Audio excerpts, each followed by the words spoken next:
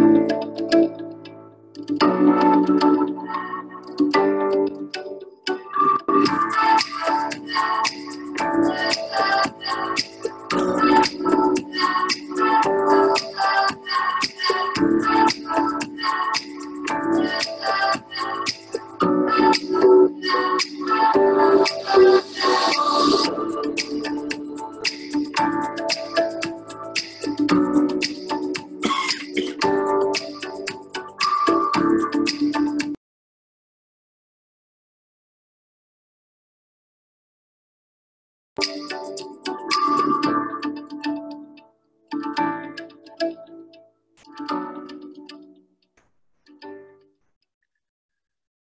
good evening, everyone, and welcome to this edition of the Tom Ruth Speaker Series. I'm Zach Lehman. I'll be your host tonight.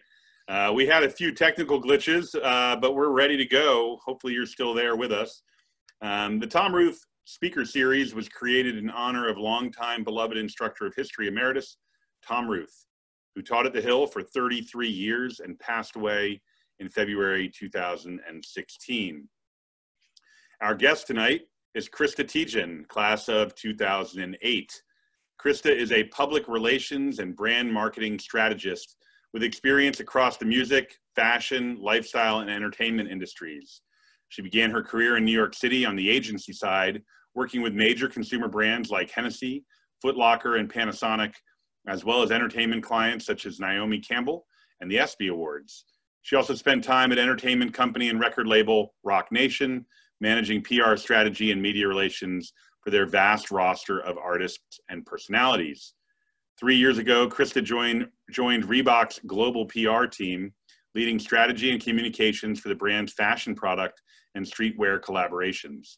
At the start of this year, she took on a new role with the brand and now serves as senior manager for Reebok's first ever global creative communications and disruptive marketing team, The Engine. We're going to learn about The Engine tonight. In this role, she helps lead the ideation and execution of creative ideas that make people think, talk about, and feel something for Reebok. So that's what Krista looks like today. But here's what she looked like when she was at Hill. I promised I wouldn't embarrass her. I think these are pretty good pictures. There she is, prefect, co-head of student activities and Hill Trebles, uh, part of the Dream Team, whatever that is. We'll find out. Uh, and there she is uh, singing, uh, looks like doing a solo with the Hill Trebles. Uh, let's see if I can uh, get Krista on the line here. We She actually lost power um, moments yeah. before we were about to uh, start there. Krista, are you there? I'm, I'm here. Can you hear me? I can hear you. We can see you. Awesome. What do you, Great. What do you think? What do you think of these pictures? I love them. I'm like, I know my one of my really good friends, Alex, is Alex Backish is on from the Dream Team, and I'll tell you all about it. But I recognize so many of these faces. I'm so happy to see every all of these pictures. It's awesome. So, so what is the Dream Team? so the Dream Team was our student activities committee. So Alex and I were co-presidents. We're really, really proud of that um but we yeah it's it was our student activities committee. So we did like six form dance and a bunch of different activities throughout the year for for the student who, body. who was the director of student activities? Do you remember? Um god gray why am i like grace, grace simpson? Simpson yes simpson mr simpson. All right mr no, simpson has gone to the dark side. He's now a teacher at lawrenceville. Boo That's not what we want to hear. yeah, well, uh, you know, uh, you were on the dream team. You stay on the dream team. Once, uh, yep. once a dream team member, always a dream team member. How about yep. the Hill Trebles? That looks like, uh, you know, uh, I'm trying to see if I recognize anyone in that group. Who are those uh, four young? So women? you've got you've got Ariel, Gabby, um, Charlie, and then Sonia, who are all Hill Trebles with me. Hill Trebles is like that was the that was one of my favorite memories from the Hill um, I kind of discovered my love of music through that. So it was awesome. I, and then I did a cappella in college too at BC. Do you still sing? I still sing here and there, yeah.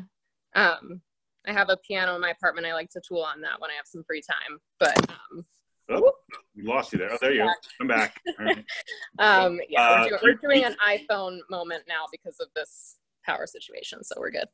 Well, uh, you know, you mentioned your apartment um, right before the show. You explained to me that yeah, you are normally in Boston, but you've made yep. it back down to Florida to the West Palm Beach area just Yeah. from the gloominess of, uh, of late winter, early spring in Boston. Uh, yeah, it's it's the weather's always a toss up this time of year there. So it's it's definitely super chilly. It was rainy. It's still rainy. So I'm I'm happy to have a change of, of weather and of pace down here. It's great. Well, I'm gonna, um, you know, you and I were talking about it. You actually got on a plane. Yep, I Sort of did. a strange concept right now in our world. Yeah. I'm going to ask our attendees who are here. We have we have over 40 people t- uh, tuned in right now. Raise your hand if you've been on a plane in the last week. Probably zero hands. zero hands. Uh, Krista, you are alone. So I'm you said there were four people on the plane, and two of them were you and and your boyfriend, right? So there were two. There were four other people on the plane. So it was like totally empty. There was tons of social distance. Um, it was completely fine. Did It you, felt did you get bumped to first class at least?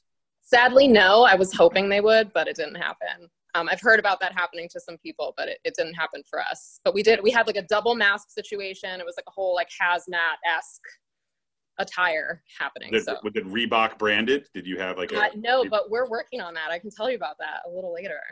Uh, and and how about the flight crew and people in the airport? Every pretty desolate. Everybody, yeah, everybody for the most part, all all personnel in there was was wearing masks and gloves, and it felt very safe. I mean, it was deserted. Like there were maybe 20 people in the airport. It was not like tons of people all around you all the time.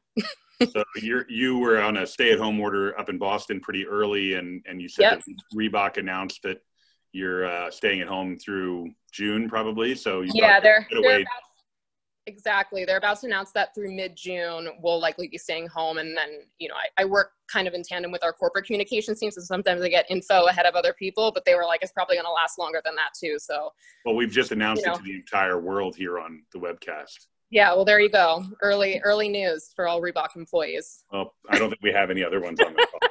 So, Yeah. so Krista, um, when you came to Hill, where were you from? So I'm originally from Pottstown, Pennsylvania. I'm Wow. from not far from the hill. I was a day student for three years and then a, a, a boarder for one. And so, uh, where did you go to middle school? So I went to Wyncroft down the street. Okay, so hmm Wyncrofter. Okay. So when you came to Hill, how many of your Wyncroft classmates were there in the third form? Hmm. So I know for sure there. I know one because I still talk to him this day, Mac Gundy. Um, Sure. but I can't remember if there was a ton of other people from my, my class at the time was only 14 kids. Okay. So a lot of kids went to, you know, a lot of the other prep schools in the area on the main line or in New Jersey. So um, I, I, I know that there's like room for error here. So I probably like two or three of us went from, But, from but for you, was it a foregone conclusion that you would end up at the Hill? Um, I mean, not always. I mean, I know. So my dad was really, really excited when the the Hill started letting in girls. So I know, like, once that happened, I remember him reading in the newspaper and kind of showing the the front page, or I don't know if it's front page news in the Mercury, but he was like, "You're gonna go here now." Um, so that was, I guess, it was predetermined from that point. But um, it, it was awesome that they finally kind of opened it up to. To, to women and i'm really really grateful that i got the opportunity to go Well, great. So you were here for four years as a day student and then as a as a boarder. Um, Yep. What was what were the highlights of your experience? You mentioned the trebles was part of it, but uh, what were some of the other highlights or mentors that really influenced you and your your experience here? Oh, mentor wise, I would have to say so. Mr. Rigg, who I don't think is there anymore, he went on to pursue. Um, uh, he's, I think, a pastor now in Pennsylvania somewhere. Um, but he he was definitely one of my biggest influences while I was at the Hill. I mean, the amount of literature that he exposed me to while I was there, I, it made me really fall in love with English as a subject. Um, and then who else? Dr. LeBlanc. French was one of my majors in uh, in college, so I think I kind of credit her a lot for that. She was you know she she believed in me and really kind of instilled this passion for the language in me um, during my time there uh, so those are two that definitely stand out um, mr straub our our um, our choral director he was the best like I, I it's crazy to think now how young he was at the time um, but he just he had that like youthful energy and it was it was really a breath of fresh air it was really fun um, I, I run into him from time to time. He's now the choral director, I think, at Episcopal High School in Virginia. oh nice yeah He's different he's the best. and stuff. Yeah, he's terrific. yeah and you can't forget the Dohertys. They were they were my they were the you know the parents of the whole the whole team. So Well, I just uh, I just chatted with David, uh, uh, Mr. Doherty, by email just a few days ago. He's checked in there, and they're in good health and good spirits. So that was good. good. Um, oh, that's so great. Been four years at the Hill. You went to Boston College. At I what did. point?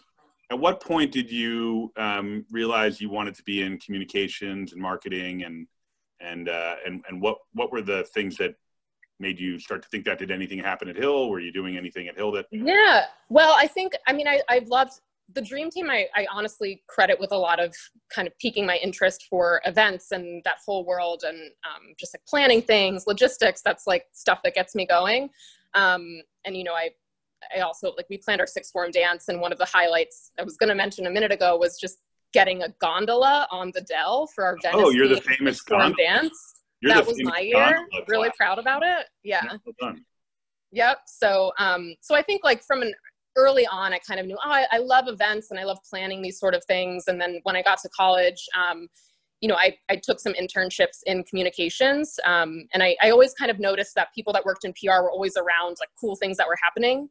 Um, I didn't really understand what they did or, or what, you know, what it involved and the amount of work that it involves, but I always kind of thought, oh, that's, that would be interesting to learn more about. So I took a few internships. Um, I started out interning um, with an agency that I went on to work for after after college for a bit uh, in healthcare, and then I decided, ah, healthcare. I think it's a little too boring for me. Super interesting, but I'm I'm more interested in like the consumer uh, packaged goods world and consumer space in general. So, um, so yeah, that's that's kind of how it all happened, I guess. And even when I was you know, at BC, I was our like publicity director for my acapella group, and I I loved I always loved kind of planning, logistics, getting our name out there, and and all that.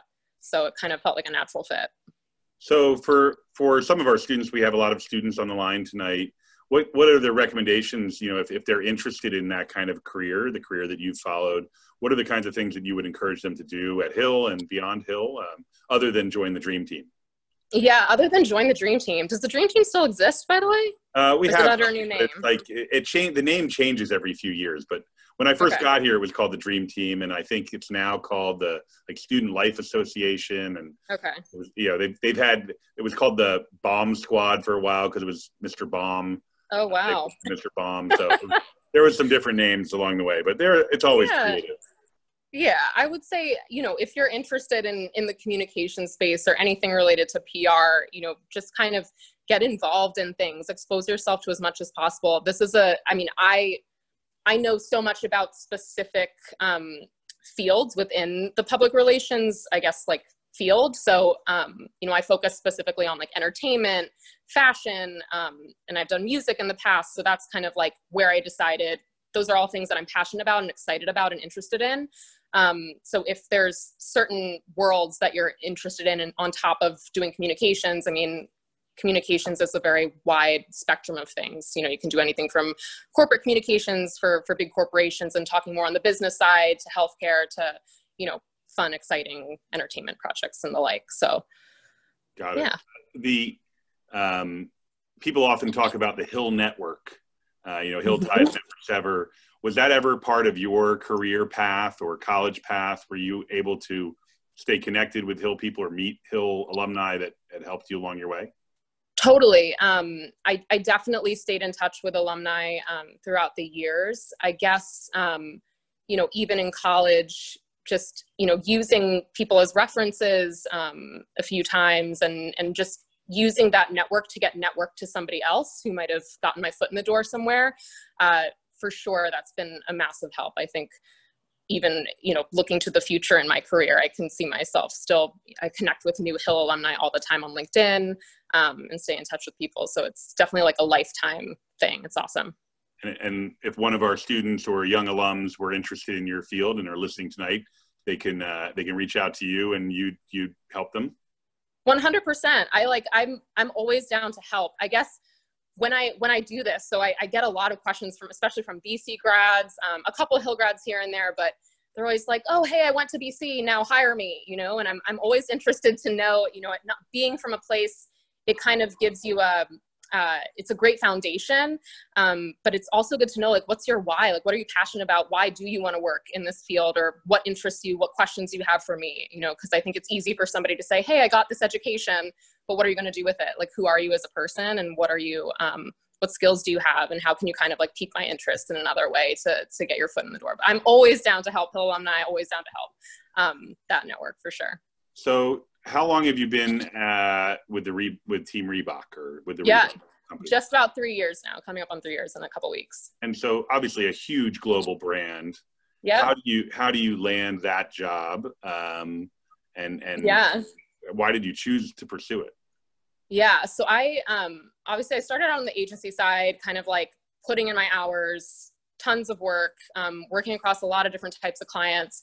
Um, the things that I was always come back to that I really loved were were like the fashion space and this whole world of youth culture and streetwear.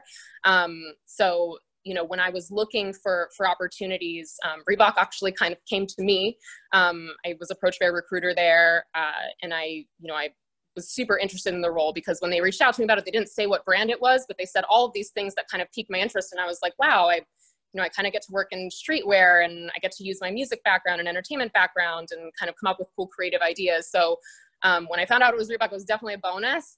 But um, but yeah, I, I definitely they they had a recruiter reach out, and I kind of went through the whole process and whatnot um, before I got the job. did you have to like clear out your whole closet and wardrobe and like yes, go over to Reebok? Yes. So when you start, they kind of tell you. So we're owned by Adidas Group, so Adidas is like a okay, but you can't wear any other competitor products. So like no Nike, no New Balance, no Puma. Um, so I did have to clear things out. Um, but yeah. Well, hopefully they provided some new new items for you. as well. Yes, definitely. And like working in this field too, I, I deal a lot with with samples, so I get a lot of products that I have actually feel like every season I have to cycle stuff out because I just get so much free stuff, Yeah. um, and I'm constantly like giving it away to to friends or like sending it home. You know, there's just so much stuff. Um, which you know we could have a whole conversation about that too, but um, but yeah. So um, you're you've been at Reebok for three years. When Yep. did the sort of the engine uh, concept begin, and how did you get involved with that? Yeah, so this was a concept. We had a new marketing head as of like six months ago. Um, and when he came on, he said, I want to start this thing. I have this idea for this team. It was initially called the Disrupt Team, which I felt like was a very old and kind of corny term. But um, he brought in a few people kind of before they devoted actual headcount to the role and said, hey, we're, we're interested in doing this you know, new team. I don't know what it looks like. There's kind of an open brief, but all I know is that I wanted to create disruptive moments for our brand and help us break through in a in a very crowded media space in a very crowded industry. Um, so I kind of worked with him along with a few other people to to build out what that would look like, what the strategy of it would be, and then ultimately I um, I was asked to join the team full time. So it's kind of unique right now because I've been redeployed, if you will. So I'm in like a dual role. I'm still working on the PR team now just because of everything that's happening and having to maximize like resources right now due to, you know, cut budgets and things going on in the world. But um I, I also still work on the engine as well. So um so yeah, that's kind of how it came about. And um, you know, the So would you describe the engine as sort of a skunk works within Reebok, Reebok Yeah. like idea generation and exactly. keep things fresh and Exactly. It's like an internal creative agency, if you will. We're like the black ops of the company, and we get to sit in a room and brainstorm all day and come up with cool creative ideas, throw stuff against the wall, see what sticks. We have a budget, and we can kind of just like move on our own with having to go without having to go through all the different corporate processes of getting everybody's approval and seeing if everybody will be okay with something. If we have a cool idea or we see something happening in pop culture in the news, and we think Reebok can get involved in it or have something to say or do a really cool event or activation, we can kind of just go and do our own thing. and how do you measure the strength of Reebok's brand? Um, what do you think are the you know is it sales? Is it Yeah. you know, what what do you what do you how do you define it? Yeah, so we, we have this thing called NPS. It's called Net Promoter Score. So essentially, we have a bunch of data analysts and people that kind of do all this market research and speak to consumers. So our consumer is, um, you know, an 18 to 25 year old kid, um, and they're kind of on the cusp. They're like more toward the back end of Gen Z. So they're they're really kind of growing up in this whole digital environment.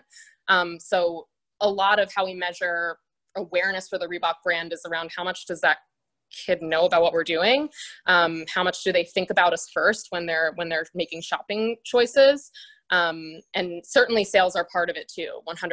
Um, but that's like a big one we use, and there's a variety of different factors that go into that. And how do you define, or, or how does Reebok define their brand? What's their brand and brand promise? Yeah, so it's been many things over the years. Um, this is part of why we created this team. Um, I think we're a brand that obviously has such a unique heritage. You know, when people think about Reebok, they have this nostalgic feeling and start thinking about what we meant back in the 80s and 90s um, in terms of fitness culture with Jane Fonda and the, the freestyle high, you know, that, that classic uh, fitness shoe with all the women in leotards doing really awesome fitness moves that I could never do. Um, and then in the 90s with basketball culture, you know, with Allen Iverson, Shaq, um, some really iconic uh, sports figures. So I think that's that's like what our heartbeat is is that um, that heritage that we have you know we at one point we were bigger than nike and i think now the challenge for us is okay we we have that heritage but it's how do we make it relevant today um, so we're definitely still aiming to be the best fitness brand in the world. Um, that's that's kind of like our north star is just create the best fitness product in the world. But simultaneously, we don't want to forget this kind of fun. Um, bold, uh, like daring and irreverent personality that we did have in the 80s and 90s with our advertising and, and even into the early 2000s. So there's a lot of things that we're trying to bring back today. And I think we've had a lot of successes, a lot of failures, and are learning a lot still. And I think we have a definite advantage being um, kind of a challenger brand, if you will. We can take more risks and do do cooler things. What is the number one selling Reebok product? So of all time, maybe. Of all time, I would definitely have to say it's the classic leather. Um, or the freestyle high. So the classic leather, I'm, I'm, sure it's it's literally a classic white shoe that we have with a gum bottom. Um, freestyle high is again that old fitness silhouette that we had. Um, but I'm sure you're familiar. We we did sign a partnership with CrossFit about 10 years ago. Um, so we developed products specifically for for CrossFitters um, and like extreme fitness, that you know that whole world. So we make this shoe called the Nano, which is literally best in class, top performing um, tech shoe or training shoe rather. So uh, so yeah, those those three are like kind of always competing to be the best. Okay, and um, and in your bio, and you mentioned it before, you're sort of in streetwear, which yep. is uh, uh, presumably not fitness. So define yep. that category for us. Yeah, so streetwear is kind of an element of, I mean, it's a fashion space entirely, and it's kind of made its way into high fashion. Um, but it's it kind of originates from you know urban environments and, and hip hop hip hop culture, honestly. So, um, you know, a lot of what I work on is our fashion collaborations and streetwear collaborations. So I partner with you know sneaker uh, sneaker shops more boutique sneaker shops in new york and japan and um, in la and we do a lot of collaborations with these guys so trying to you know just get their name in the press when we do these sort of collaborations um, and then we also have more high fashion collabs that i work on too um, so anywhere from victoria beckham Pyer Moss, which I'm not sure you're familiar with. That's kind of like a newer upcoming fashion brand. Um, and and yeah what one that i can't announce but like a massive massive fashion house that we're announcing soon uh, yeah. so definitely not uh, academic casual at hill or no definitely academic. not academic you're, you're totally different I would say if I showed anybody at Reebok that photo of me in a blazer and a and like a J Crew shirt, they would be like, "Who are you?" I'm, I'm sending them, I'm sending them that. Yeah, that's that's going out next. Now that you've announced that Reebok has uh, gone until June. We're sending this uh, to them tomorrow. Yeah, great. Okay, awesome. uh, okay, so amazing career, like awesome brand. Things are yeah. flying high, and then January, early February hits. COVID nineteen shut down yep. in Boston. Corporate offices shut down. Probably international manufacturing in many ways shut down. Big time. Um, so, so what's you know post COVID nineteen life like at at Reebok, one of the biggest brands in the world? Yeah. So as you mentioned, um, you know, factories shut down. So our factories are based in Asia. So they're based in China and in Vietnam. So obviously that's where all of this originated. Um, so we were kind of already dealing with product delays even before you know this came to, to the us in the way that it has um, you know, obviously from an operations standpoint, everything's gone online, everything's digital. We're, we're Zooming, we're on Teams, we're, you know, chatting and texting and FaceTiming each other. Um, so in a lot of ways, um, I'm actually I've actually been joining a lot of recent brainstorms about this. That the business has actually moved faster. It feels like there's a lot less um, meeting in person and wasting time talking about things. We can easily get things done virtually. Um, but yeah, I mean, even from so just from my personal expertise a lot of what i do deals with you know relationships and people and um, and media journalists. So these people are obviously inundated with news right now and having to cover a million different things and getting thousands of emails a day. So when you're no longer able to say hey let's meet for a drink and let me pitch you this new product we're coming out with you have to find new creative ways to, to talk to people. Um, plus certainly plus, plus there's no new products coming out there's there's definitely still new products coming well, I mean, out. There's not, I mean, you're not manufacturing. You, you're you're correct. selling yeah. things online, but yeah. Well, things, yeah. Exactly. And product. I mean, we're on like an 18 month product cycle, so things are still kind of coming out. We'll, where we'll see the delay and the issues are like down the line, um, or they'll just have to make it back up on the back end. But um, yeah, it's it's interesting. So I think. Um, that's that's definitely been a, a tough one is just figuring out how to navigate you know relationships with press and even even going into budget cuts um, everybody's kind of like wait a minute we don't we can't open our retail, stores right now so we have to drive all of our business to reebok.com um, and we have to cut our budgets. So we've had done a lot of marketing budget cuts um, so you kind of feel it in that again, like I've been redeployed back onto the PR team part time to, to help because they no longer can use their PR agency. So there's very real implications in all of this. Um, and you, but but by the same token, it kind of forces you to innovate and, and stretch yourself and figure out where you can maximize resources. And honestly, take a look at okay, maybe we could have been doing this differently all along. You know? Yeah, I think we're all learning some of those lessons that we may apply down the road. I'm I'm interested in hearing from you what some of those are in a moment. But um, uh, Reebok also has you know a, a pretty large social mission. Um, mm-hmm. uh, so you know around human rights, uh, yeah. other global issues. So ha- has has that become uh, a bigger focus right now as you start to lean into that? 100%. I don't think any brand can really do anything right now that just feels like, hey, buy this product just because, you know, people are, this is really affecting people. I mean, people are dying. So, you know, you have to, you, can only lead with a message that feels human focused and socially focused. Um, so every every plan, everything we're doing right now. I mean, I'm I'm on a COVID nineteen task force that is solely dedicated to looking at what can we be doing to speak to our consumers in a way that um, you know we're giving back uh, to the local community, to essential workers, um, to the World Health Organization and other similar organizations. So that's a big, big piece of it. Um, I mean, it's honestly the biggest piece right now. Well, you mentioned earlier, uh, I asked you about um, the masks, and and you said you're you had something you wanted to share, like you guys are working on something, some sort yeah. of approach or something like that. Yeah, so I mean, we're going to be we've been creating masks kind of on a local level. So, you know, the tough thing is, you know, I'm sure everybody saw New Balance put out and Nike, a lot of a lot of brands that are, you know, US based are, you know, turning over their factories to create PPE and masks for for local healthcare workers um, and essential workers. We're in a unique position where we can't really do that because our factories are in Asia. Um, so what we can do is we, we have this thing called the Makers Lab on site at our at our headquarters where we've kind of like turned that over and done some small quantity mask creation just locally for the Boston area. Um, but we also will be rolling out um, you know more uh, kind of like fitted more planful masks that are being created at our at our factories um, in tandem with adidas so that's something that we're doing um, in addition to in addition to everything else. But i think there's there's something really interesting there and it's it's it's something we're discussing a lot because there was an article in in High Highsnobiety which is like the streetwear culture magazine about how I, I read it all the time. Yeah yeah.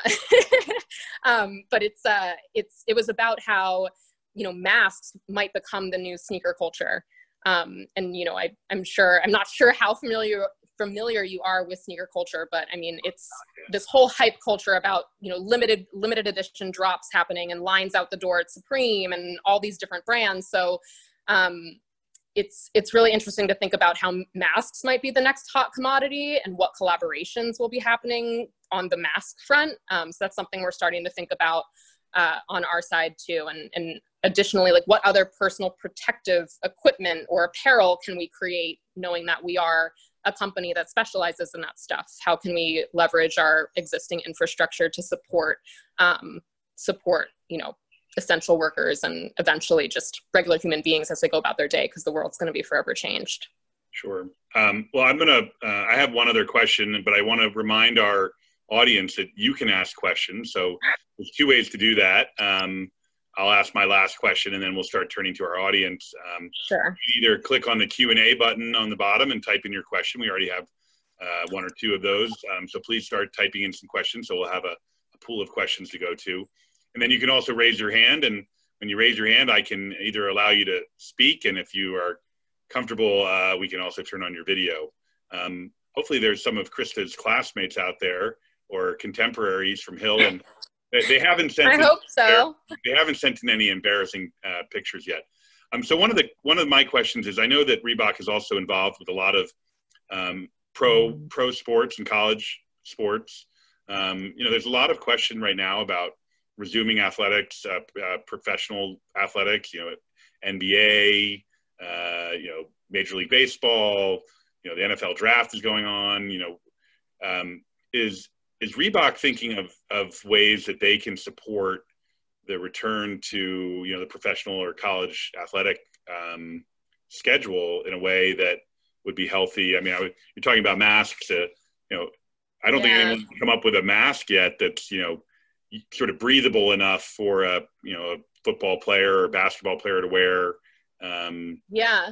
I'm curious. So it's, yeah, so it's tough. So we're, we're no longer in professional sports in the way we used to be, or even college sports for that matter. Um, but a community that we're really, really invested in is the training community and the fitness community. So when you think about small businesses and gyms, um, you know, trainers that their entire business was based on being in person with somebody and helping correct and, you know, build workouts for them.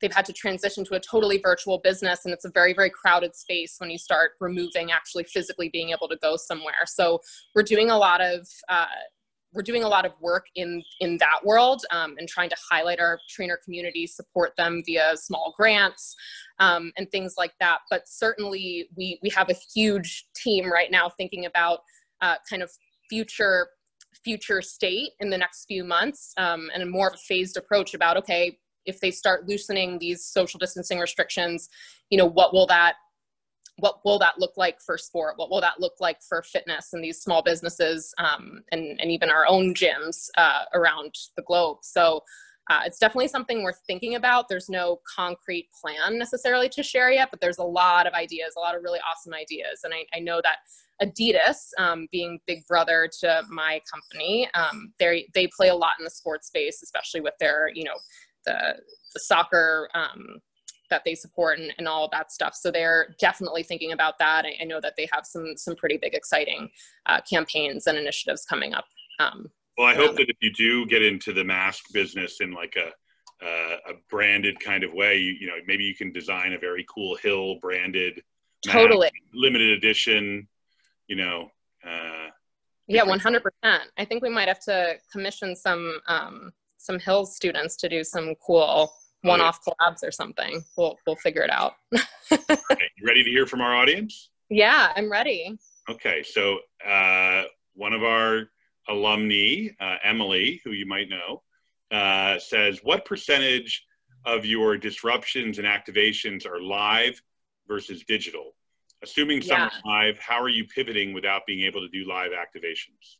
Yeah, that's a really great question. So um, it's it's interesting because we were like two months in, and then all of this happened, um, and a lot of the things that we were initially activating were live events, um, and but we we do do a lot of digital. So I guess like the first part of the question, just in terms of the split, I'll talk about like the past state, and in an ideal state where there's no social distancing and COVID's not happening, it would probably be about like a 20% live and then 80% digital. So we obviously want to be digital first. That's where our consumer is.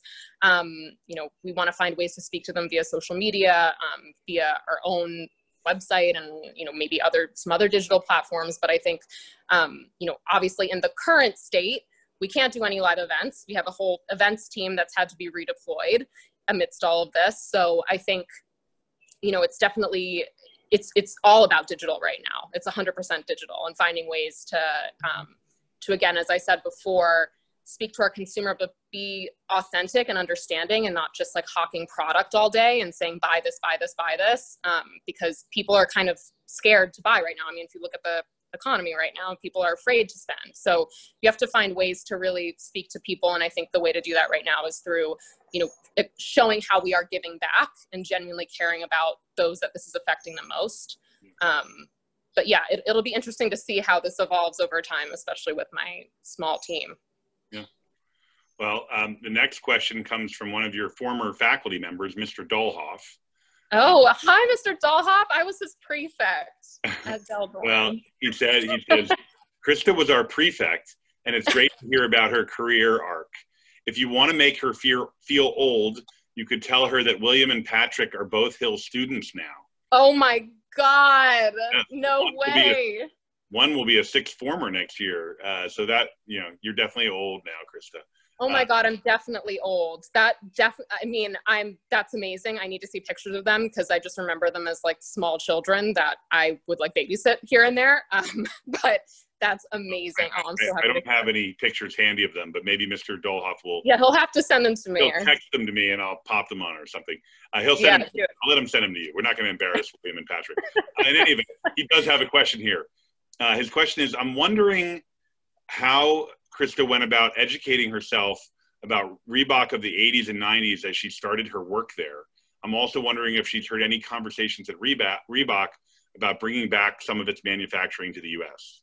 Yeah, so both good questions. So the first piece of the question was about how I educated myself um, on our past because um, I didn't live through it. Honestly, I like was growing up in a time where we were kind of on the downside of being like at the peak of popularity. So, um, you know, for me, I think the only time I had ever really heard about Reebok and any of their you know talent partners if you will was because i was a 76ers fan growing up and i knew that allen iverson was like a reebok ambassador um, as controversial as he was at the time, but also super iconic. So um, for me, that's kind of where my knowledge like started and ended, to be honest. Um, and I did a lot of my own research and just kind of looking back, and you really start to realize, wow, the history of this brand is so unique and unlike anything else. You know, I think when you look at a lot of the brands of today, the Nikes, Adidas, Pumas, um, and some of their collaborations that they do with with musical artists. I mean, Reebok was really the first brand to do that. Um, you know, we signed Jay Z back in the day when nobody was even touching a hip hop artist. Like people were not signing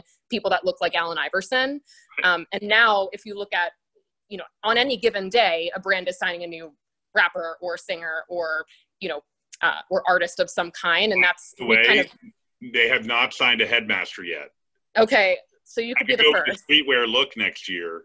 You know, if we just kidding. we might have to do like a hype headmaster like makeover day I or think something. I, I could use I it. We can make that. I, I was I was uh, as I was getting ready for this event, I I asked my wife. I said, "What does one wear uh, for this particular interview?" Um, I don't have. I, I, just don't have cool clothes. So. Uh, oh, well, we can definitely change that. Um, second, but, Mr. Doelhoff's second question was around. Yeah. Um, uh, moving uh, manufacturing back to the U.S. Is that a uh, was that already yeah. a conversation, or are you thinking about that more now as a result of this, or where is it's definitely yeah it's definitely been a conversation. So we do we do manufacture small quantities of things in the us and we actually are we have a whole division called our futures department um, that's focused on like future technology and kind of eliminating waste in in the fashion space and just making everything super sustainable. So we have this technology um, that's kind of all liquid focused and creating soles of shoes out of liquid and plastic byproducts essentially. Yeah. um, so it's it's essentially zero waste. So that factory is based in in rhode island. We have a lot of different things like that that are more um, local in the us but in terms of a large scale factory that can pump out hundreds of thousands of products we don't have that yet. Um, and honestly most of our business is our, our, three big key markets are um, are china Europe, and the US. And the US is the smallest of those three. So to service Asia, it's it really is the right place for us to be right now. It's just unfortunate in the current times that um, you know we're not we don't uh, have anything nearby. We've had we've had other we had one of our alums from uh, Hong Kong who you know they're actually several months ahead of us in terms of getting yeah. back to work. So you might actually yeah. uh, get back online there sooner than you think. All right, yeah, we, have, no, we have a question. Someone's raised their hand. Are you ready? Oh, great. I'm ready. Okay, so this is Emily. Uh, she's one of our current students. Emily, can you hear me? Yes. Can you hear me? I can. Do you want to go video, Emily, or are you good with the voice? I'm good with just the voice. Thank you. Okay. Emily, how are you, by the way? I'm good. How are you? Good. How's your family doing? They're good. It's uh, it's nice having everyone in one house. All all three Hills, uh, one alum and two students are home. Yes. Oh boy, I think that's a, uh, a handful. All right, you have a question for Krista. Um, it goes off of Mr. Doelhoff's question a little bit, but with your factories being in Asia, how are you dealing with the prejudice that has developed around the virus starting there? How are you advertising to your customers that your merchandise is safe for purchase? That's a really, really great question. Um, so I know that obviously our our whole Asia team had to deal with this ahead of all of us in the US. So when I say us, I mean our global team. So it's it's interesting because we're HQ'd in Boston, um, but a lot of our business is done overseas. So a lot of the time that market is having to kind of work independently to to you know problem solve and come up with their own plans related to what's happening locally there. Um, so in terms of prejudice, um, I know that they've had to be extremely careful with any communications that are put out right now. We haven't, I haven't personally heard of anything related to that um, for our Asian market, but um, I think that that's it's that's a really great question. Um, and then in terms of letting people know that our products are safe. I think that that's a really great point and something we're definitely going to need to discuss. I think the whole world is thinking about that right now. I mean, even, you know, we, we can't even produce masks uh, in general, I'm not talking about Reebok in, in our own country. We have to outsource it right now. So how do we even know that that stuff is safe? Um, and I, you know, there's obviously a lot of prejudice uh, involved in that too. So I think it's it's definitely something to think about and it's a really great point and i'm going to bring that up because um, i want to make sure that we're we're thinking about you know from all sides how we can you know ensure our customers that things are safe to buy and and and good products made humanely um, made sustainably so that's that's all part of it. Thank, thank you. thanks for the yep. question emily. Good to hear your voice. Thank you. Have a good evening. You too. Okay uh, we have another live question. You ready? Yeah, I'm ready. All right, Sean, are you there? Yeah, can you hear me? Uh, you're a little uh, you're a little soft, but speak into your microphone a little bit better. All right. What about now? Much better. Okay. Yeah. So I, I have uh, two two questions. Uh, the first one is, what is your opinion and um, kind of like what have you learned about um, like sustain uh, sustainability and specific to like high fashion? Um, mm-hmm. and you like uh, any kind of like new technologies that have coming out? Because i know that it's it's kind of a new trend now. Uh, i know a lot of brands are kind of hopping on the wave. Um, but yeah. your overall opinion on that.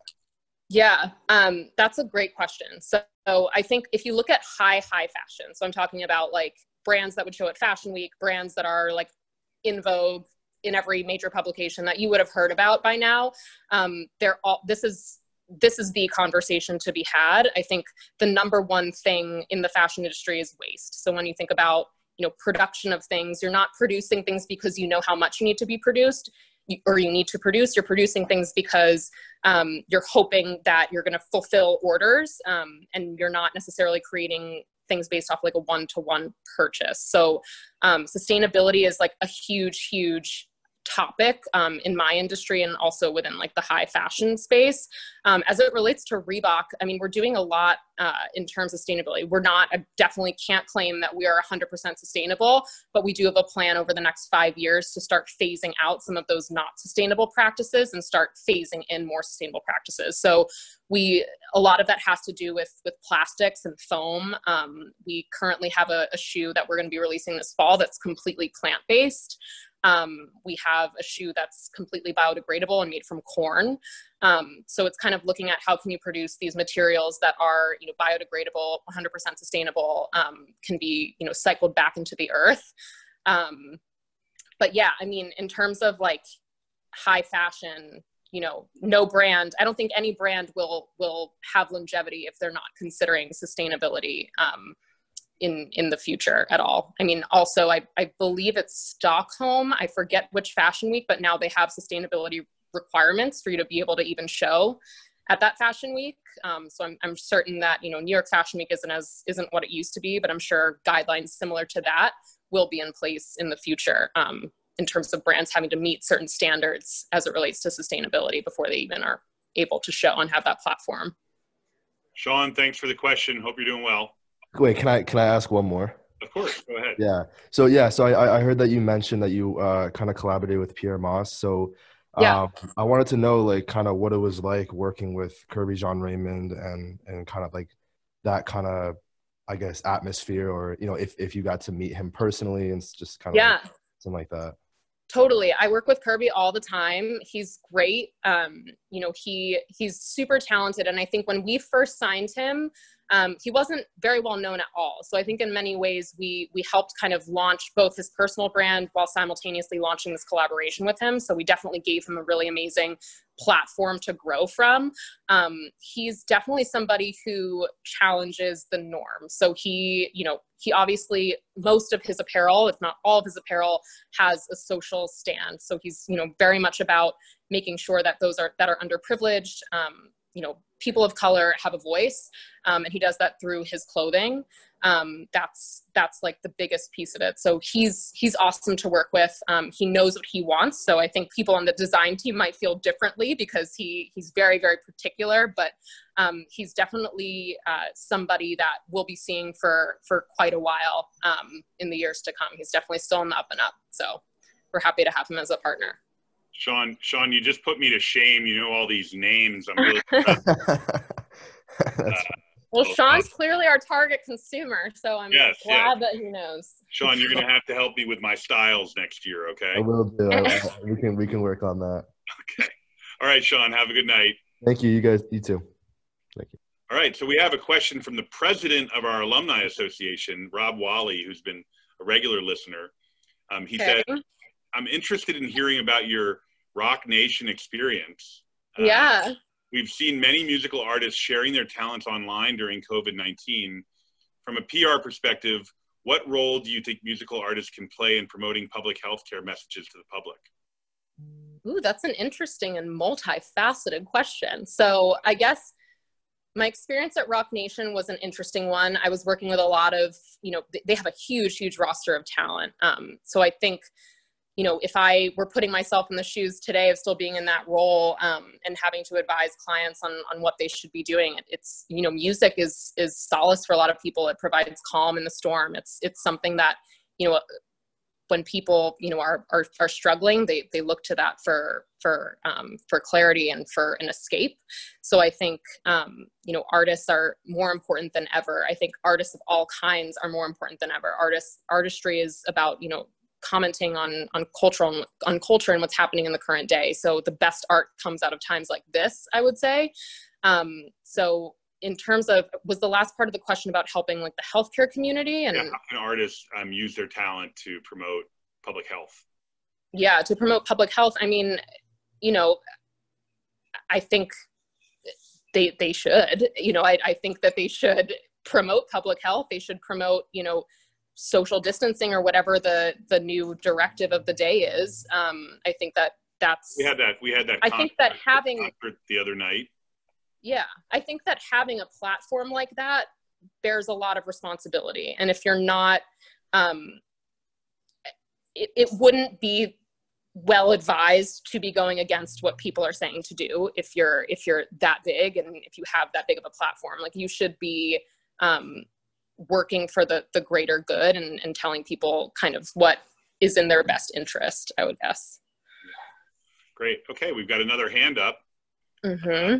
this is greta she's one of our students hi greta hi do you want to appear on video uh sure if you want Okay, we're going to promote you to panelist. Hold on. And then uh, this is always fun, Greta. We get to see what your house looks like. Hold on. Uh, sorry. Oh, there she is. Hi, Greta. Hi. Hi, Greta. Krista, Krista, this is Greta. She's not too far away from campus. She's a fifth former. Oh, nice. And I'm in Trebles also. You're in trouble. Oh, awesome. Trebles. Oh, trouble. yeah. I, like, I didn't know you were in trouble. She is a trouble, and she's uh, quite a trouble. Yeah. Go ahead. So I, I wanted to know how much your career has informed your own personal style and vice versa. Oh my God, my entire career is so I, I really do. I, I don't think that I, I think as you grow into yourself and you, as you grow into your career and just your person, you figure out how your style can really communicate who you are. Um, I think, you know, being at Hill and even at Wyncroft before that, you know, you're wearing a uniform every day. So you're not really thinking about, okay, what does my outfit say about me and what I think? And I would always be jealous of, you know, public school kids because they, you know, they got to express themselves and you'd see emo kids and you'd see preppy kids and you'd see all, all sorts of different groups form just based on expressing themselves through personal style. Um, and so I think like throughout my career, my style's definitely changed a ton. I mean, if you looked at a picture of me from like even two, three, four years ago, I'd be wearing something completely different than what I'm wearing today. You know, I'm, and even recently, just with everything going on, I've been doing a lot of like closet clean out and getting rid of things, cycling things out.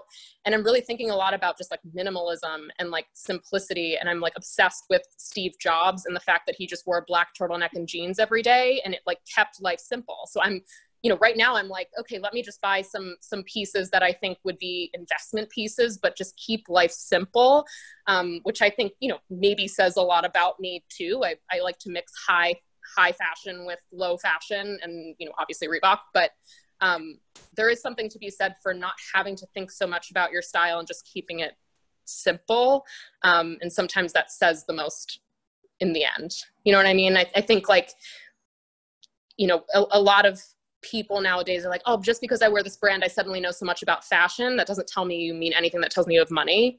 Um, so I think you know it's like style says everything about you, and it's um, it's something I'm super passionate about. And my style will probably change like every. I mean, I my hair right now looks like it's longer, but I like had almost shaved it down to a buzz cut last year. Like I changed my hair all the time. I had like purple hair in January, so um, I like to change up my style all the time. You can go with my look. You can go with my look. Yeah, I, I did almost have your look. I was rocking that look almost. I rock this look all the time, and that's what say about me.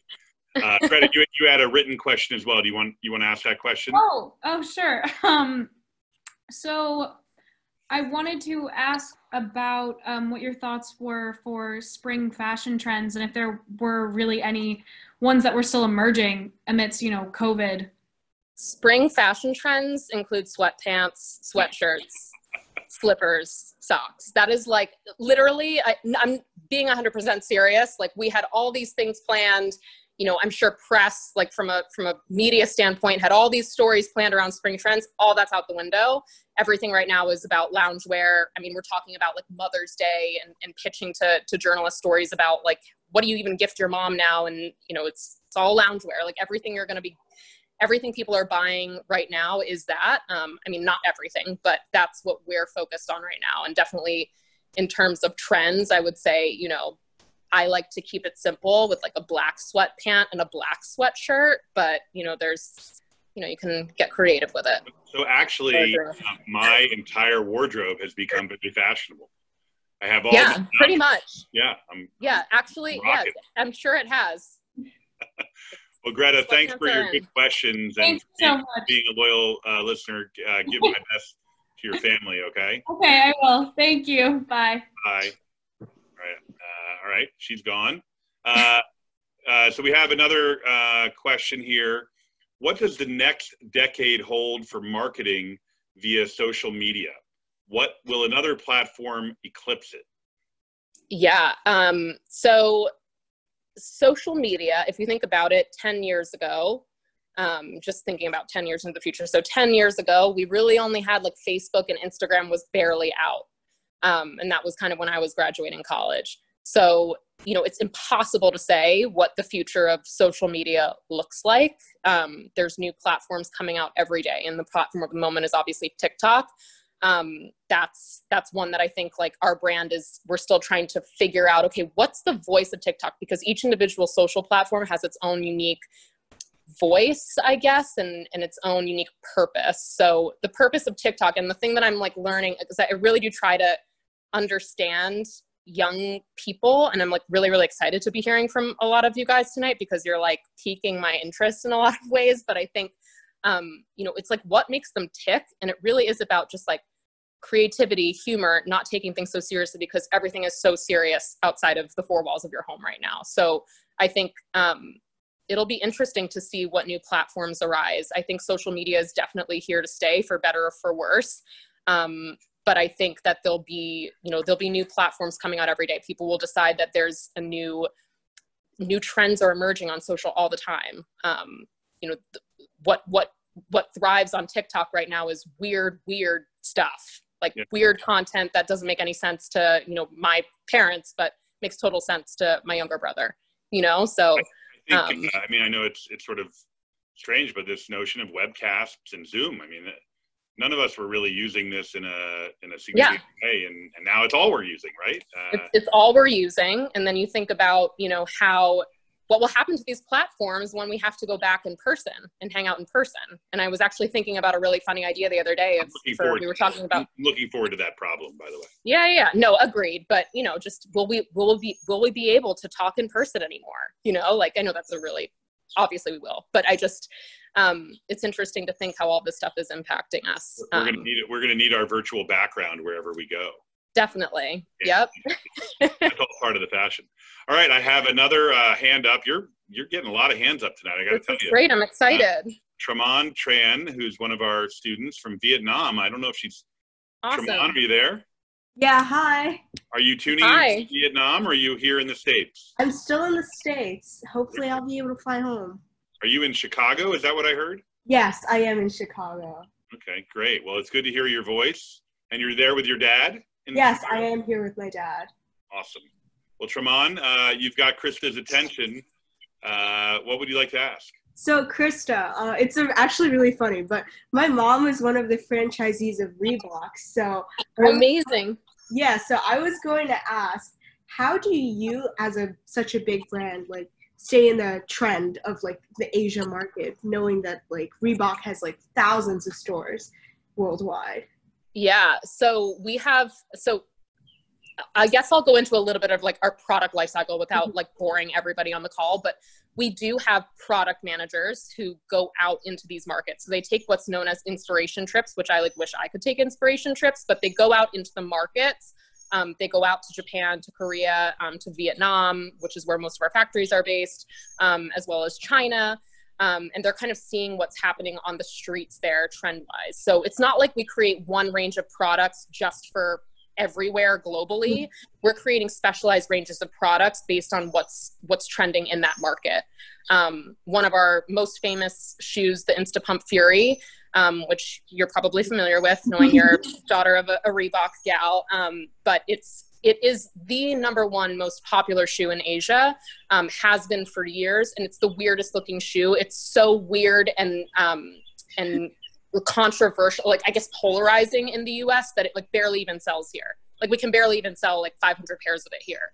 Um, but in Asia, this is like the number one shoe. So trend wise, Asia's definitely ahead of the US. I would say it's like light years ahead in certain markets. Um, the style there is absolutely incredible. Um, but we're definitely creating product ranges based on what is trending in those individual markets. It's not just like one thing like across the board for, for everybody. Right. Oh, and just an idea about the whole TikTok thing. So, like, usually TikTok has a lot of challenges. So, I remember my mom running this marathon for Reebok, right? And yeah, our challenge. So I thought, you know, like maybe something related to uh, shoes and TikTok. So like some sort of challenges with shoes and dancing is. I love that. Of Reebok. Uh, of, of- I love that. You should follow our TikTok channel because it's like blowing up, and we have this really awesome young kid who we basically gave him full reign to create content for it, and the stuff on there is so weird, but I think it's absolutely like authentic to what people want to see on TikTok. So go like check it out. It's it's great. But that's that's an awesome point. I mean, we're trying to we're coming up with new challenges every day. So I'm just hoping like one of them really hits and goes more viral. but we'll see. Right. Thank so, you. uh, I'm, I'm like, uh, you know, totally uh, trying to figure out uh, what this looks like. So this is the Insta Pump. Yes, that's the Instapump Fury. That's like that's not the OG as we call it, like the original one. That's that's um that's like the mid, so it's got that sock liner in the middle. But that is like Hill School colors, so I, I see why you pulled that up. I, it's really nice. Yeah, I've been I might have to go into your researching this all day. So yeah. those, are pretty, those are pretty. Those are pretty cool. Uh, we could add those to the dress code next year. You should. I don't see why not. It'd be like popular like Sperry's. Okay. yeah. Uh, well, Tremond, uh, thanks so much for joining us. Good luck uh, making your way home and, and uh, give my best to your family. Thank you. Have a great day. Thank you, Krista. Thanks. All right, so we have a couple more questions here. Um, Sure. they're, they're coming in fast and furious. Uh, actually, a little bit of a follow up to the question that Tremond just asked. Um, earlier today, NPR aired a piece uh, claiming that some retail locations for some brands will never reopen. The Gap was cited as one example. How do you see the current model of retail storefronts changing, both from COVID as well as changing consumer behaviors and preferences? Yeah. I mean, it's I mean, it's really sad what's happening to the Gap. I mean, I don't I hope they make it just because they're such an, a brand that's been around for forever, but you know, it, it is a sign of the times, I guess. Um, for us, you know, our retail stores are closed indefinitely right now until local and regional guidelines say that we can reopen. Um, so, you know, it, it is, it's, it's going to be tough and we're going to have to kind of take it week by week, day by day to see, you know, what, what to do. I, it's hard to say what consumer behavior will be because I think even though they lift restrictions, that doesn't necessarily mean people are going to come flooding back to stores. You know, I think people are, it's like once one new normal arises, once you go, everybody keeps saying we're going to get back to the way it was. I don't think that that exists. I don't think that's going to exist anymore um, in the way that we're used to. So it's something we're going to have to just evaluate and, and, and see. I don't know that all retail locations are going to be able to stay open. I think um, to the to the NPR article that I haven't read but would love to. I think that that um, that's spot on. I think people are going to have to assess. Okay, where where are people? You know, in places like New York City, are people going to even want to go out of their homes? They might be social distancing for the next two years, you know. But in places like Florida, where I am, maybe maybe people are willing to go to malls and go shop in person just to get out of the house.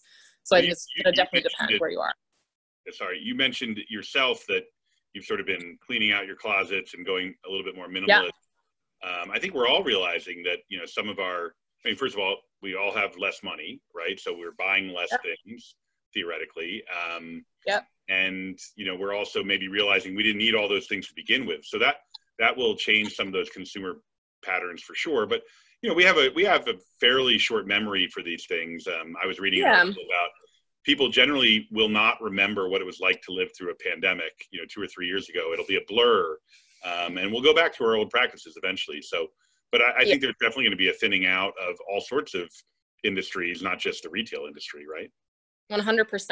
I think that people are going to think more about, and I know like even this was something I, I, I did want to bring up is, you know, now that people don't have access to be in person with people, or maybe you had a business that was solely focused on brick and mortar, you're going to start thinking about, okay, how can I be more digital? Because this will happen again. Something like this could happen, something worse could happen.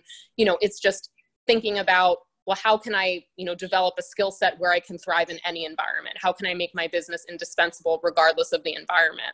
Um, but i think like you know it's 2020 i mean the amount of online shopping is is making retailers go out of out of business left and right. Um, so you know anything's possible. Right. Has reebok seen a growth in their online business in the last two months 100% yeah so um, just buying sweatpants and loungewear Yeah, no, I mean, people, you know, in indoor fitness indoors is is a is obviously a big big thing right now because there's very few things that you can do in your house. So you know, people are definitely buying um, fitness apparel. I, I can't say for sure if our sales are up or down overall or anything like that, but um, our our online business is definitely thriving right now um, in in these times. So well i'm gonna i'm gonna go online afterwards and buy a, a, a pair of insta pumps oh, awesome! totally I don't know that you'll find it on our U.S. site because nobody likes them in the U.S. But i've got my i've got my I'll have sources to figure out who made that gray and blue one and, and get it to you. Okay, I'm counting on it. Uh, okay, we've got another question from a young alum, Samantha. Um, Okay. Hi, Krista. She says, "What is the best advice you received that helped you shape the early part of your career? Also, do you have any advice for graduating college seniors looking to enter this industry?" Yeah. So the best advice, I guess, um, would be like not to cut corners. I had a I had a, a boss right out of um, college. Like my it started out as an internship, and then I got hired at the agency full time. But um, you know, she was very very detail oriented. Um, and not that I was cutting corners, but it was always like make sure you do the thing right um, because you know this has to be client facing or you know this is it's it's the statement from the company and you want to make sure that it's but i guess in a broader sense like don't cut corners like don't expect that you're going to come out of school and have that dream job and it might your dream job might be like three or four jobs away from where you are right now you know what i mean? And i think putting in the work early um, understanding that you know I, see it a lot unfortunately with like our, our interns and co-ops it's just this kind of aversion to to doing work and to going the extra mile um, and i think that that's a way to really stand out is to understand like okay this might not be a glamorous thing but this is what the work involves um, and if i want that reward of you know being at a really awesome global brand someday i don't definitely by no means consider myself like successful but i definitely feel successful because i'm doing something i really love um, and I, I think like success is definitely the journey of it and getting to that place. Um, so you know who knows what that looks like for me. But i think um, you know my my biggest piece of advice would be to understand like what you're really passionate about put in the work really focus on like what you love and then be strategic with finding ways to um, yeah to make money but do something that you actually enjoy because you know you've got the life that you're in school and then you've got the life that you're retired and everything in between is your entire life and you better enjoy it because it's the bulk of it you know people are looking toward retirement every day um, but we should focus on like what we what we love right now like what, what are you doing right now that you can love instead of looking for something that's not guaranteed That's great advice for Samantha. Thanks for sharing that. Yeah. Don't cut corners. We say that at Hill. We actually say don't cut corners at Hill. don't cut corners we- We literally mean don't cut through the grass. yeah So- don't don't cut across the cloth there's there's a good metaphor there. Um, so uh, Christopher, one of our alums, has an interesting question. I'm not sure I fully understand it, but maybe you will. okay With the 5G rollout in full swing and the IoT ecosystem growing faster than ever, does Reebok have any plans to embed sensors in their shoes? I that I feel like half that question was in another language. I've been hearing a lot about 5G, obviously, and like the potential health effects and things like that. I don't know what IoT means. So if you want to maybe chat what that is, that would be interesting. But I think that's a really interesting point and something to to bring up. I know as I mentioned before, we have this whole futures team that's interested in, in new technologies and new innovation when it comes to our products. So if there's any way to integrate tech, that's always stuff we're looking at for sure.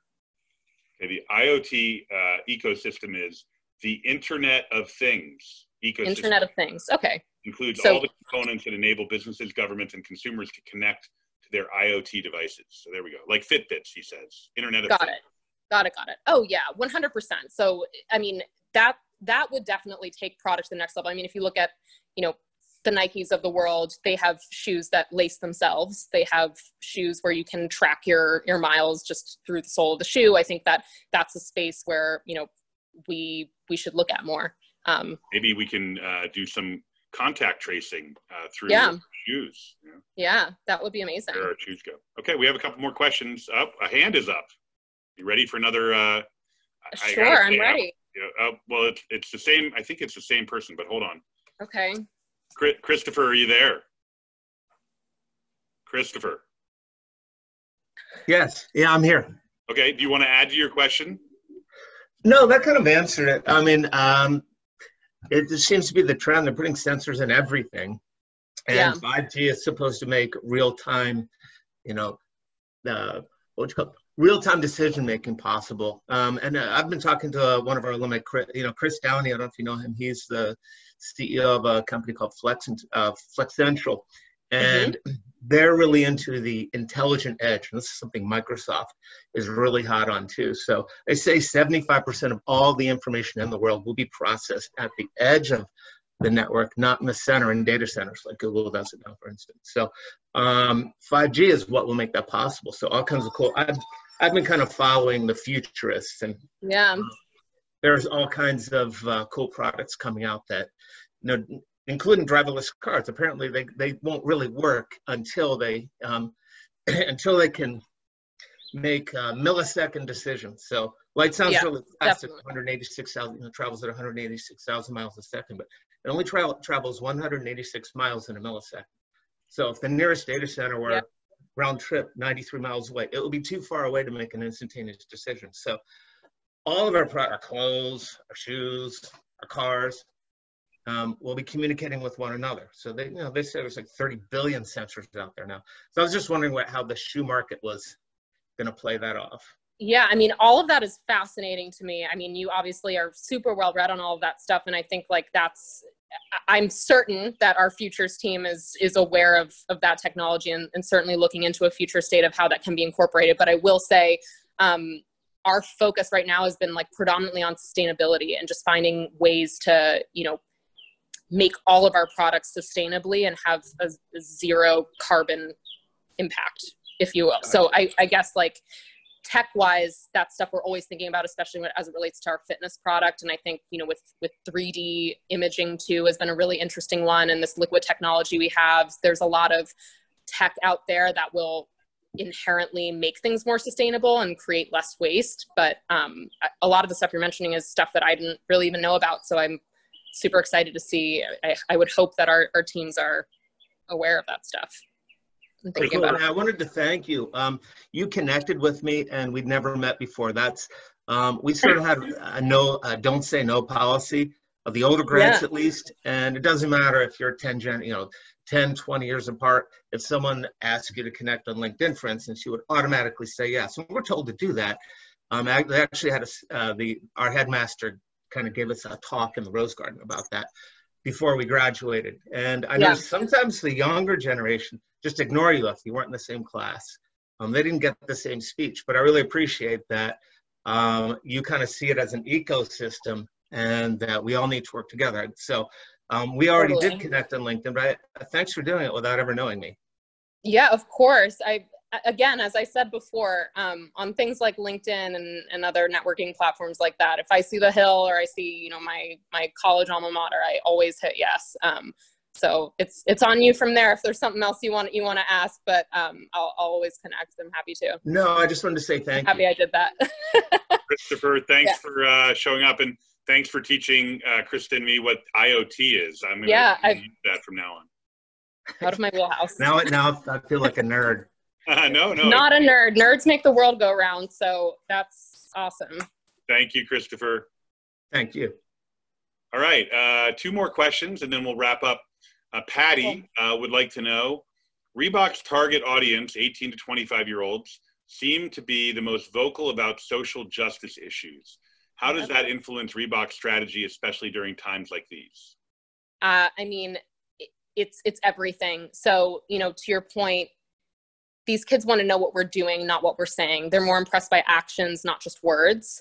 Um, so I think it's it's very easy for a brand to say, "Oh, we support you know the LGBTQ plus community, and here's a shoe that we want you to buy." But they want you to go the extra step to understand, well, how are you really supporting the LGBTQ community? Because it sounds like you just made a product to benefit off of a certain community. So I think everything we do has to relate back to you know okay well how are we tying this back to giving back to to a certain community or partner or social issue? There's definitely guardrails in terms of like social issues that we stay away from or that we're, we're really excited about um, being involved with and, and helping out with in whatever ways we can. Um, but that's it's it's a really great point. I mean it's it's it'd be interesting to see how much um, with everything that's going on and what you know the world will look like over the coming months how much more we'll have to incorporate charitable efforts into everything we're doing um, across the board so it's a good question yeah All right, the last word, um, and maybe I'll add Yeah. one little question after that because I, Okay. promised, I promised you I would. Um, Leon, uh, who's a avid listener, and it's great to hear from Leon. Uh, he's an alumnus. Um, you have a great ability to express your views on different subjects. So he starts with a compliment. Uh, thanks then he says, Do you feel these skills were developed from parental training, scholastic or college experiences, peer group exchanges, or professional exchanges, uh, professional experiences? Well, thanks for the compliment. That's really nice. Um, I never feel like I know what I'm saying, so I'm happy that somebody understands me on the other side of things. Um, but yeah, I mean, I guess it's like you are you're the product of your environment and like all of your experiences. So I would say all of the above. Um, you know, I have incredible parents who are amazing communicators, and you know, I practice public speaking in front of them. I prepare for everything with them growing up, and you know, my mom was you know a language teacher um, she substituted at the hill a few times and so i think i had a natural propensity for like languages and um, was super interested in that. But in terms of like communication i definitely feel like i kind of you, you come into your voice as you like grow more confident and get older and, and really kind of know what you're talking about and have gone through things and i certainly feel like i have a lot more to learn but um, definitely feel like in my professional careers where I kind of learned to speak up at the table. You, you have a seat at the table for a reason. So if you have something to say, you're, you're in the room for a reason. Speak your mind and don't be afraid of what people might think of you. I think that a, a lot of young people come into rooms and are afraid to speak up, but the ones that do, you're like, oh, bring that person back for another brainstorm. They're great. You know, and I think that being young is, is definitely an, an asset. And if, as long as you're willing to, to work, I think people, especially in industries like mine, where we're trying to sell to, to young people, but people in the room might be you know 40 50 years old and they have no idea what's going on in youth culture. So i think it's really important to stay connected to to to the youth. And um, i'm yeah i mean just use your voice. That's what it's there for. Okay so i get the last word or the last question anyway. Uh, awesome. Uh, while we were sort of in the green room getting ready for this call i i asked you if you would consider yourself an influencer. And uh, your response was you don't like that word. No uh, i don't So tell, tell us what, what you why it is you don't like that word and, and and sort of what that means. Some of us don't even really know what an influencer is and yeah. So I think so I think the word influencer has come to mean certain things that make me like squirm nowadays just because of social media in general. Um, and sorry, are you still there? I'm here. I thought I lost you for a second. Okay, great. I asked um, a tough question. You disappeared. No, no, no. I know. I was like, what's going on with my phone? Um, so you know, I I guess like to me, an influencer is somebody that is truly influencing something. I think the word has been cheapened by social media in a lot of ways. Anybody can be an influencer just because you have thousands of followers. Um, but when you really look at it, and if you um, if you really know like who's who and who's really influencing decisions, like they're not even on social media, or if they are, they they don't have thousands of followers and a blue check next to their name. Um, so for me, I, I, like to think that I can have an influence on people, but would I call myself an influencer? Like influ- true influencers to me are people like, you know, the MLKs or like incredible, like Michelle Obama, Barack Obama, like these people that truly do have a way of moving people and inspiring people um, to take action. But that's not to say that fashion influencers, because I work with a lot of them, can influence you to buy something and to buy a product because of the way they wear it or style it. So I think that there's definitely a spectrum of, of influence. Um, but am I an influencer? I don't think so. Some might people think, some people might think I am. Um, but you know, I, I hope that I influence people to um, to kind of go after what they go after what they want and um, just it's a constant journey figuring out what you want and what you want to study what you want to do but uh, where your career will take you so i think you know be influenced to to go on the journey of that i would say well uh, you definitely have uh, brought a great voice uh, tonight and we're really yeah. grateful for you being here tonight uh, great, great save on your technology there. Oh my God, I know, right? I you quick downloaded the Zoom app. We had a I had my heart going there for a minute, and uh, same. yeah. Well, uh, thanks for being here tonight. Um, as always, I want to remind our uh, viewers about our uh, upcoming speakers um, uh, on May 14th, uh, which is, I'm sorry, we've got a little confusion here. April 30th, which is our next show, will be Justin Newton, class of 91, who's the CEO at Netki Incorporated. Um, Justin, I had a chat with Justin today. Really fascinating what he's working on right now. Netki is sort of a blockchain crypto uh, uh, company, but he's working right now. Krista, you'll appreciate this on credentialing yep. uh, for different tests, uh, like antibody tests and live body tests for COVID 19. So, providing organizations and companies and uh, industries with a way that we will have on our phone you know i can prove that i am you know i have antibodies or i have been tested recently um, and that That's- will help us get back to work and back to school and so we're going to hear all about that it's pretty cool That's Um, super interesting. I just saw something about that on um, on CNN. They're in China, especially through Weibo, which is like the way they communicate over there. They're they're doing a similar thing, and it kind of brings up like privacy issues too, which will be an interesting thing. Maybe I'll join that one and ask yeah you that. should because actually that, i asked justin what makes his product different than others is the privacy issue and i think that Yeah. goes back to the blockchain Cool. Um, so we'll, we'll, we'll, learn more about that. Um, we're working on some speakers for next week. Um, so uh, don't be surprised. We'll have them. Um, and then on May 14th, we'll be joined by Colonel Pete Sniffen, class of 81, parent of class of 19, who's a, a, a chaplain at the U.S. Army War College, has had a long career as an Army chaplain. Well, we're going to talk about faith. We're going to talk about religion. We're going to talk about the Army, uh, all of the above. And then on May 19th, we'll be joined by Senator Pat Toomey, uh, uh, parent of class of 18 and uh, parent of a graduating uh, senior, his son Patrick, um, who's a U.S. Senator for Pennsylvania. And uh, I think that'll be a really interesting time. As Pennsylvania starts to reopen its economy on May 8th, um, we'll hear from one of our two senators here about what that looks like in the state and, and globally as well. Um, so a, a pretty good cast of characters here. Krista, thanks for being here again. Yeah, thank you so much. It was awesome. And I'm going home to order my Insta pumps. Yeah, please do. If you can't find them, just let me know. We can Uh, I probably will. hook you up. All right. Take care. Have a good night. Thank, Thank you everyone you. for joining us, and we'll see you. Uh, we'll see you Thursday night for Colonel Sniffen. Excuse me, for Justin Newton. Have a good night, everybody.